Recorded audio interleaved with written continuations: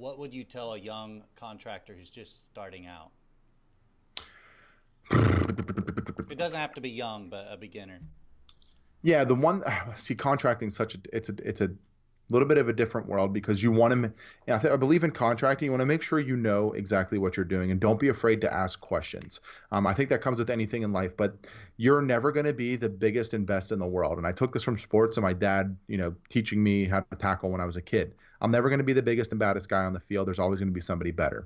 Approach contracting the same way. Don't be afraid to reach out to people that you admire. Don't be afraid to reach out to people who have done it in the past because those are the type of people who are probably more willing to help you and learn and help you learn, help you grow and teach you things because everyone wants the industry to win. You know, we all are sick of hearing how terrible contractors are and the bad rap that goes along with um, so many people that give a bad name to whatever industry it might be contracting being one of them, you know, those guys that are really good and great, they want to help other people become great and better contractors. So don't be afraid to reach out to them and learn from them, even if it's, uh, you know, making the sacrifice to work for free for a, a short period of time in order to grow your own skill set.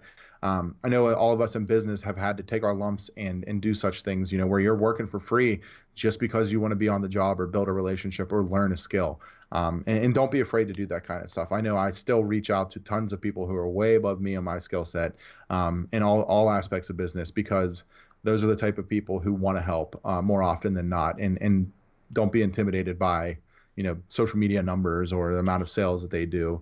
Uh, every one of us started out in, in your shoes.